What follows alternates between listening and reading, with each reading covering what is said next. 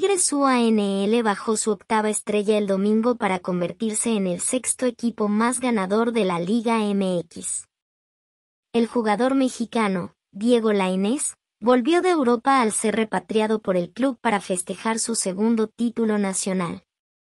Sin embargo, esa celebración estuvo cerca de arruinarse en vivo cuando, Factor, Atendió la invitación de la cadena deportiva TUM para ser entrevistado por el esportero de Chivas, Oswaldo Sánchez, pues le hizo una pregunta inapropiada que causó revuelo en las redes sociales.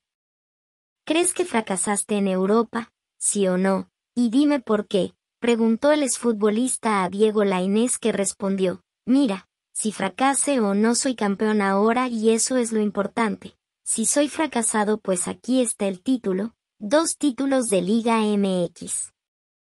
Dicho momento no deja de hacer ruido y varios periodistas se han lanzado en contra de Oswaldo Sánchez, el último Eduardo Salazar, conocido conductor y reportero de la empresa Televisa que se pronunció en un video de su cuenta de Facebook para reventar al colaborador de TUDN. Lo que no tuvo madre fue Oswaldo Sánchez preguntándole a Diego Lainez que acababa de ganar el campeonato que si había fracaso en Europa. De entrada es bien molesto escuchar a Oswaldo Sánchez, si fue un gran arquero y lo que tú quieras, pero escuchar una narración de Chivas, Chivas y nada de Tigres, dijo. Y remarcó, pero creo que, Diego, la Inés le contestó muy bien y bueno la Inés es campeón Oswaldo, Sánchez, y Tigres también.